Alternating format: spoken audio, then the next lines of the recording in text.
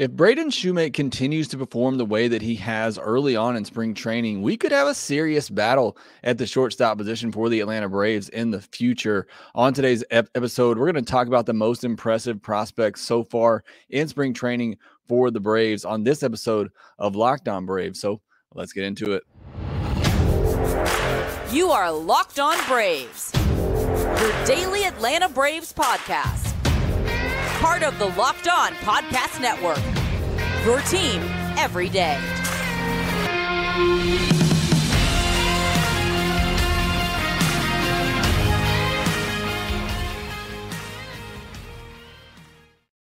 Hey, and welcome back to Locked On Braves, part of Locked On Sports Atlanta, where we cover your favorite Atlanta sports teams each and every day. I am your host, Jake Mastroianni. You can follow me on Twitter at shortstopball. Also, make sure you check out my website, shortstopball.com com, or you can some of my written material and my other work that I do. Also, make sure you follow the podcast on Twitter at locked on underscore brave. Send in any questions, comments, or feedback that you have for the podcast. Make sure you follow me on Twitch as well. Started doing that over the weekend. You know, look to do that a lot more during the regular season as I watch games and play MLB the show as well. So if you want to come join that, make sure that you follow me at, on Twitch at shortstop ball as well. And thanks as always for making Locked On Braves your first listen of each and every day. We post episodes a daily, five days a week, Monday through Friday, and we are free and available on all platforms. This is the Minors a Monday episode of Locked On Braves. We're going to be talking about the most impressive prospects that we've seen in spring training. As spring training kind of winds down over the last two and a half weeks here, you'll start to see less and less at bats for some of these prospects, although a lot of them that we're going to talk about are still competing for jobs. And one in particular, Braden Shewmake, who we talked about last Monday on last Monday's minor Monday minors Monday episode. Could we have a real battle at the shortstop position? Maybe not right now, but in the future if Braden Shewmake continues to perform as he has. But let's talk about the most impressive prospects that we've seen thus far. And I think for me and a lot of people, the biggest one is still Dylan Dodd. I know he had a rough outing his last time out against the Dominican Republic, but you take a look at that lineup and you can see why a lot of pitchers are probably going to struggle against that lineup. But outside of that, particularly his first two Grapefruit League starts, he he may have been one of the most impressive players in all of spring training for the Braves. In those first two starts, four and a third innings, three hits, no walks, which is very key, no earned, and seven strikeouts. So again, very dominant in his first two Grapefruit League starts. Was really good in his first two innings against the Dominican Republic. Things kind of got away from him that second time through the order. He ended up going two and two thirds innings, four hits, three walks, five earned, and two strikeouts. But again, in the first two innings, he gave up just one hit, no runs, and had two strikeouts before things kind of got away from him. The biggest thing for me for Dylan Dodd is that fastball. It is just, it has a lot of life on it. You hear it from other players facing him, just how much that fastball gets on you, even though it's more of a low to mid 90s fastball. It has some serious life on it, and that's been impressive. He's 24. So, you know, it's not like he's a super young up and coming prospect, but he has just 53 innings above A ball. So, even as impressive as he has been, I think regardless, unless there are just several more injuries or you know Ian Anderson can't figure it out, Bryce Elder takes a step back. I still think Dylan Dodd needs more refinement in the minor leagues, but to me, I see more upside in him after watching him in spring training than I did previously coming into this season. I ranked him 10th on my top 10 prospect list, and I put him with a ceiling as a number three, which I that's still where I would have him even after seeing him.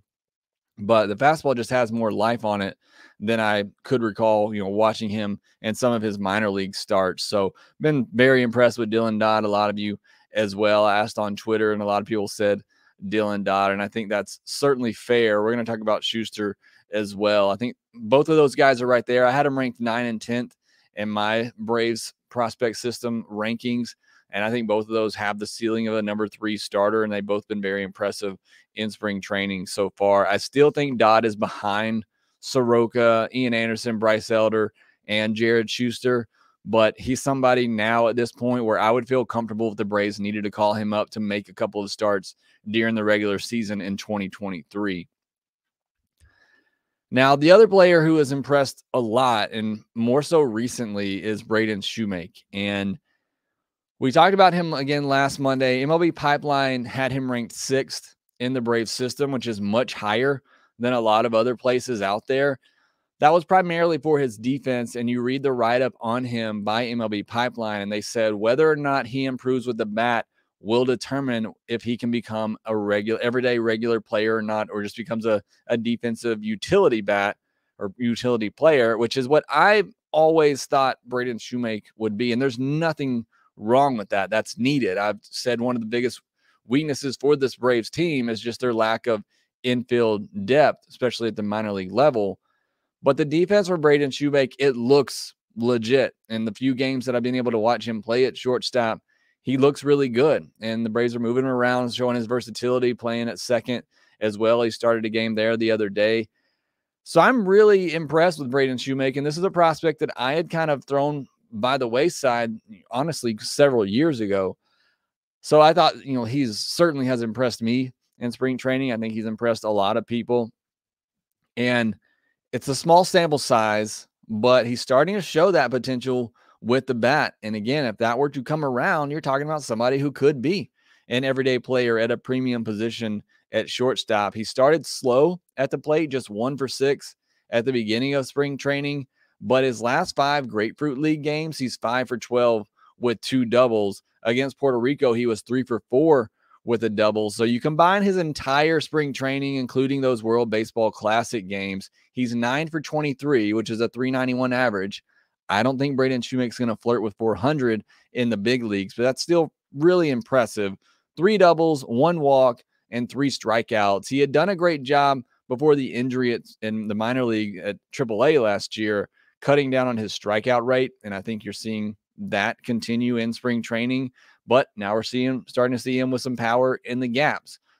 Does he ever become a 20 home run potential type bat? I don't know, but you know, if he can just become a, a good doubles hitter and get double digit home runs and he can hit 275, 280, and maybe that's being a little too high. But if you can do that and the defense is legit, and again, it from everything you hear from talent evaluators and just what little I've seen in spring training, it does look like he will be a very good plus defender.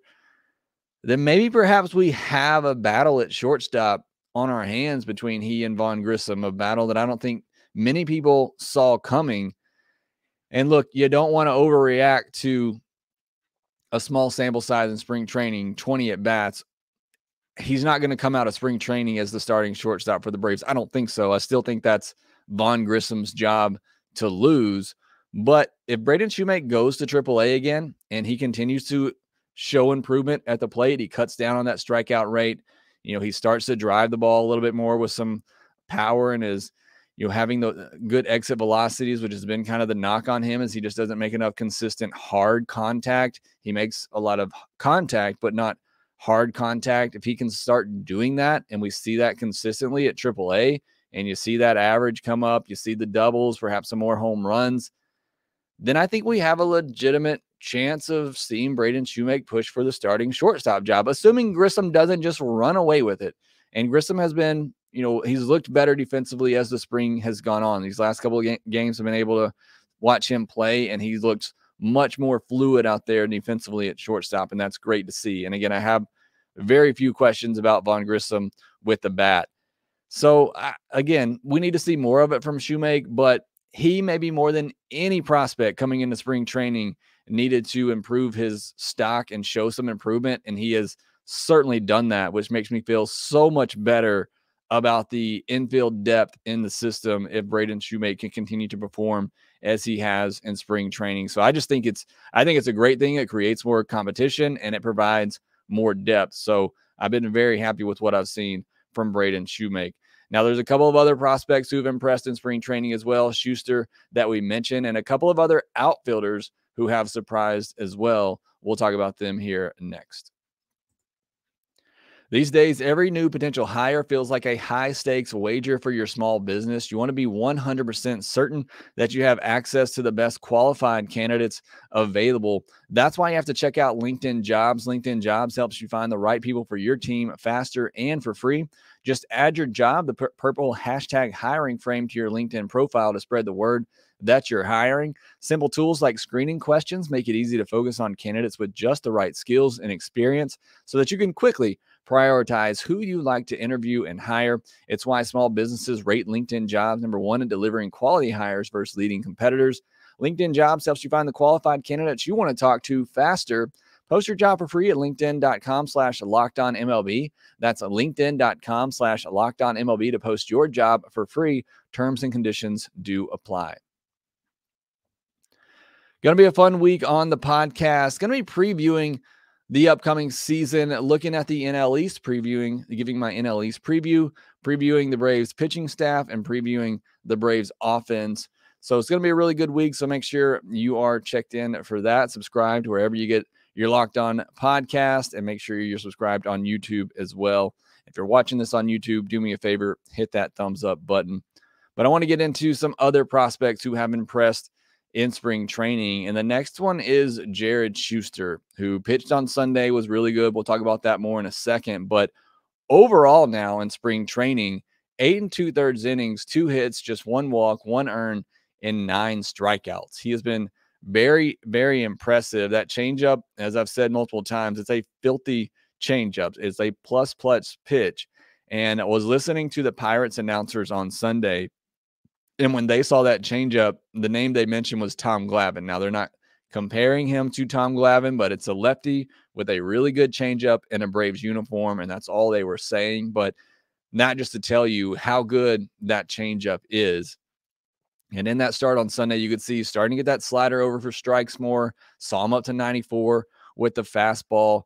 Uh, he's just he's been very impressive. Again, I still think his ceiling is a number three, and I think he's more likely going to be a back of the rotation arm, but he's somebody with his command, with the movement, and again, a plus plus pitch in that changeup. I think he's somebody can be a very solid piece in the rotation.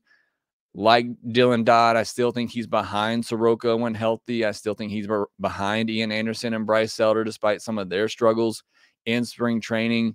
But I still think it's a battle, and I still think Jared Shuster is firmly in that battle. He could potentially get three more starts in spring training. So, again, I'm not completely dismissing him for that fifth starter spot because I think he's at least earned a longer look uh, as well. You know, I haven't been overly impressed with Ian Anderson or Bryce Elder in spring training. So, I think Shuster certainly deserves a longer look, as I said but he's been very impressive so far.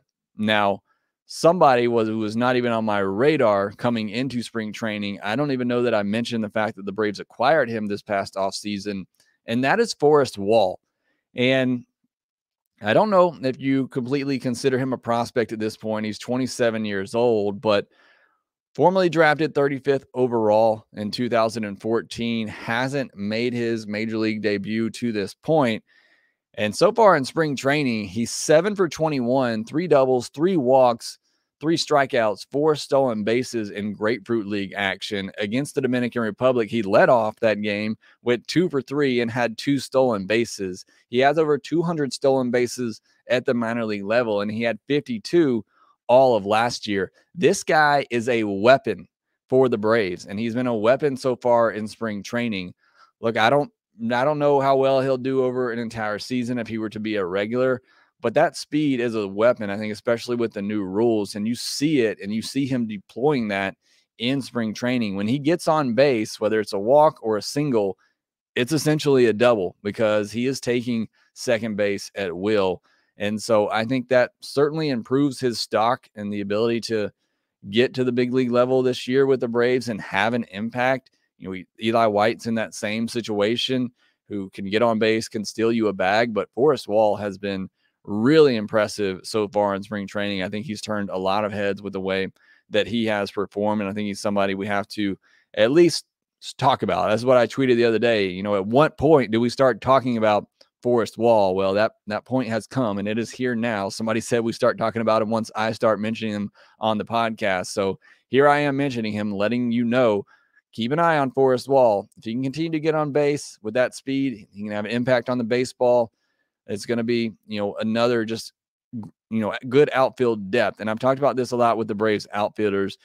Yeah, I don't know for certain that the Braves have somebody who can play left field every day, but the depth guys that they have are really solid. And I feel comfortable that one of those guys could potentially break out and maybe become that everyday guy. I don't know that it's Forrest Wall. I'm not saying that, but with what I've seen in spring training from all these guys, you know, Eli White, Sam Hilliard, uh, we're got to see Jordan Luplow on Sunday. He's coming back. Forrest Wall. And then the next guy I want to talk about, Justin Dean. He has been impressive as well. And kind of the same thing as Forrest Wall, speedy outfielder with good defense. He's six for 14 this spring, a double, three walks, three three strikeouts, and three stolen bases. So he's been very solid as well, and kind of that same mold as Forrest Wall, as Eli White, although he Dean doesn't impact the ball quite as much with that power, but somebody who could be a fourth outfielder, could give you some speed and defense off the bench. Looking at some responses on Twitter as I asked who has impressed you the most in spring training. A lot of you had the same answers as I did. Steve Lamb says Dylan Dodd, and I can understand, especially with the way that he jumped onto the scene in spring training in that first spring training game. I think Dylan Dodd has impressed a lot of people so far. Corey Slovic says, for me, it's Shewmake and Wall, two of the guys we talked about today. Before this spring, spring, all I'd heard about Shewmake was that he couldn't hit water if he fell out of a boat. Might have been me who said that. I don't know. But Wall seemingly came out of nowhere. I'd legitimately never heard of his name before. I'm right there with you. Again, I wasn't even aware the Braves had picked him up this offseason, and he has certainly impressed in spring training. Uh, 2023 NL MVP Matt Olson on Twitter also said Forrest Wall, 333 batting average, seven hits, two doubles, three walks, three RBI, eight runs, five stolen bases, and no, it hasn't been caught stealing. And I think those eight runs are key. I know a run runs is a stat we kind of throw away, but he's getting on base, he's stealing bases, and he's scoring. I mean, that is legitimately important. And a lot of times when Snitker has put him in the lineup, he's put him at the top. And I think for that very reason, because when he gets on base, he can score. You know, similar to Acuna. I'm not saying he's Acuna, but that's why they put Acuna in the leadoff spot. Because when Acuna gets on, he's usually going to be at second. And before you know it, he's going to be coming home and touching home plate. So Forrest Wall has had that kind of impact on the game in spring training so far. Kirby D says that Shuster for me, guy's been lights out. Dylan Dodd not far behind. And I agree. I think Dylan Dodd, again, like I said with Steve Lamb, who said Dylan Dodd, I think Dodd came onto the scene really hot. Yeah, he may have taken a little step back there against the Dominican Republic that second time through the lineup, perhaps so, showed some holes in his game that needs to figure things out that second time through. But I, I, think both of those guys have been very impressive, and you feel comfortable about either of them making starts for you this year. And then Chip Hendricks as, as well, said Jared Shuster. So it's been a good spring training, I think, for Braves prospects at the upper level. We kind of came into spring training not really knowing what we had in some of these guys, or some of them we just needed to see more of it. Now, this is spring training, it's a small sample size. You have to remember all that. But I'm going based off what my eyes are visually telling me on the games that I actually get to watch. And I'm still been very impressive or very impressed with a lot of these prospects. And it gives me some hope for the upcoming season and the future and just that depth that we've talked about. Look, the Braves big league roster, big league rotation is fine. They're they're set there. But one of the biggest worries for me has been that depth. And the one thing that I feel more comfortable about now through a couple of weeks of spring training games is the Braves' depth whether it's those outfield pieces or on the infield. I feel much better now than I did entering spring training, and that's certainly a great thing. So, next, I want to get to some of the takeaways from the weekend. Ian Anderson, Charlie Morton, both kind of some up and down outings. Perhaps they're still working on things. And then uh, Ozzie gets his first home run this spring. Michael Harris with a good good uh, home run as well on Sunday. And we talked about Jared Shuster, and we'll discuss that more here next. The Built Mar- March Madness bracket is here, and now it is a couple of years ago. It was a lot of fun, and now they're bringing it back. We know you have a favorite bar or puff, and now's your time to make it count. Go to builtmarchmadness.com to vote for your favorites. You'll know I'll be betting for my favorite, which is the cookies and cream, as I always tell you on here. And if you want the Braves to win, you'll go vote for cookies and cream as well. And when you vote your your favorite bar or puff, you will be entered into a drawing where 50 lucky locked on listeners will get a free box of built. So if you're a built bar fan, you gotta go in and submit your vote at a chance at winning a free box of Built, and one lucky Locked On fan will win a 12 month subscription to Built, which will have Built's best bars or puffs delivered monthly straight to your door. You got to try Built Bar. Again, we tell you about them all the time. They're the best protein bar out there. They're so amazing. You won't think they're good for you. But what makes Built Bars and Puffs so good is that they are high in protein, low in sugar, and covered in 100% real chocolate. So run to builtmarchmadness.com right now to vote for your favorite bar or puff. And let me know in the comment section below what's your favorite built bar or built puff. Uh, let me know. Would love to hear from you there. And as we've been telling you, you can go to built.com to order your boxes, or you can go out to Sam's Club or Walmart and grab yourself a box today. Getting into the takeaways from a weekend's action on Friday, Ian Anderson started out really rough in that game and just couldn't command anything. Couldn't command the fastball, couldn't command the changeup. He didn't give up much. He he only gave up one run, one hit, but he walked three over three and two thirds innings, two strikeouts.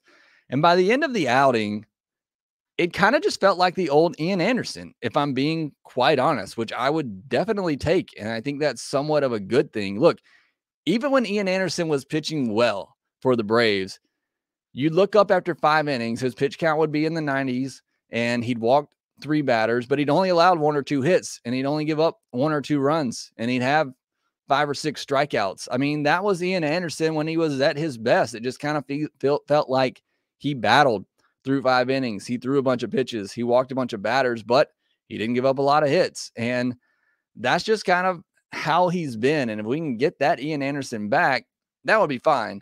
And I think you could live with that. But that's kind of how that start felt for Ian on Friday. He looked terrible to begin with, couldn't command anything, but got out of some jams, didn't let it hurt him. And then he started to find that changeup. The changeup was really good the last inning plus for that game. But the fastball concerns me the most right now. That is the biggest concern in my mind for Ian Anderson. It's not a high velocity pitch. He was more around 92 with it on Friday and just couldn't command it. I mean, even throughout the entire start, just couldn't command it. Finally, he found that changeup, and that's why he was able to get through three and two thirds innings. And I thought the curveball looked good. I mean, the curveball to me was a better pitch than his fastball. He just he couldn't command it. And it's not a high spin rate fastball. It's not a high velocity fastball. And if you can't command it, then you're going to be in trouble. But that changeup, once he got going with it, it looked like, again, one of the better changeups in all of baseball. Nick Anderson on Friday had a really, another really solid outing, clean outing with two strikeouts. Again, he, he looks like he could be in a big league bullpen. We'll see if a spot opens up for him there or if he creates one himself. Grissom made the best play that I've seen from him all spring on Friday. Ball hit up the middle, kind of reached for it, spun, and threw a dart to first base. So, again, like I said, the more I've been able to see him in spring training has gone on with my eyes, I'm seeing some improvements defensively, starting to look more comfortable there. So that's great. Perhaps a little bit of nerves early on, as he know he knows his defense needs to improve, and that's what everybody's looking at. But Past couple of games, I've been able to see him. He's looked much more smooth at shortstop. On Saturday, Ozzie Albies had his first home run of the spring. It's funny, they were talking about how much Ozzie has struggled on the broadcast, and then he absolutely belts a three run homer in that game. Shewmake with an impressive line drive RBI double off the right center wall in that game that scored Marcell Ozuna from first base, which is just kind of crazy. Um, and then again, for Charlie Morton on Saturday, it was it was good and bad, kind of like Ian Anderson. Two and two thirds innings, one hit, but three walks. No runs though, but three strikeouts. So it's kind of the same thing there. And it looked like early in that outing for Morton, he was really struggling to command that curveball, which this is where you got to take a step back and realize he's a veteran. This is what spring training is for. It's for pitchers to find their command, and it's for hitters to get their timing. And that's what spring training is for, especially for veterans. I think he said after the game that was you know, the essential of getting your work in. And that's exactly what he was doing. I'd love to see him be a little bit sharper, but he's likely has at least two, maybe three more outings in spring training before the regular season to work that out. So, not too concerned or overly concerned with Charlie Morton. The entire bullpen was dreadful on Saturday. I'm not really worried about that either, but whether it was Iglesias, Minter, Jimenez, they were all bad. Um, so hopefully they get that figured out. But I have very few concerns about the bullpen once the regular season begins. On Sunday, Michael Harris had an opposite field home run. We talked about Shuster, how good he looked. Three and two thirds innings, one hit, no walks, one earned to give up a home run to Bryan Reynolds on a one two pitch that was supposed to be down and away. He left it out over the plate, and Reynolds crushed it and five strikeouts. So Jared Shuster looked really good. As far as some news news side of things, not much there over the weekend. Collin McHugh, as you may have noticed, hasn't pitched this spring. Ryan Snicker said, Snitker said there's nothing to it. He's been throwing fine. They just don't want to rush him because of all the workload, uh, the high workload that he had last year. Again, it's why I'm not really worried about bullpen. I think bullpen guys could come like in middle March to start gearing up for the regular season as they don't have to get all stretched out. So really don't worry about relievers too much, especially better and established relievers. Don't worry about them really at all in spring training. And then Ronald Acuna Jr. I'm recording this on Sunday afternoon, posting it on Monday. But um, so Acuna's only played one game in the World Baseball Classic, and it was not a best performance. Venezuela, his team got a big win over the Dominican Republic, but may have been one of Acuna's worst games that he's ever played. He grounded into a double play twice and he struck out as he went over four in that game. So a rough start to him for the World Baseball Classic. USA won their game over Great Britain. So I've been enjoying the World Baseball Classic. I've been getting on Twitch at night and watching some of that while chatting with some of you. So if you want to join that, make sure that you follow me over on Twitch at Shortstop Ball. But that will do it for this episode of Locked On Braves. Thanks as always for making Locked On Braves your first listen of each and every day. Now go make your second listen, the Locked On MLB Prospects podcast, where host Lindsey Crosby talks about the biggest and brightest stars of tomorrow. So again, thanks for listening. Be sure to follow us on Twitter at Locked On underscore Braves. You can follow me at Shortstop Ball. Also, make sure that you rate, review, and subscribe to the Locked On Braves podcast wherever you get your podcast. And we will talk to you next time.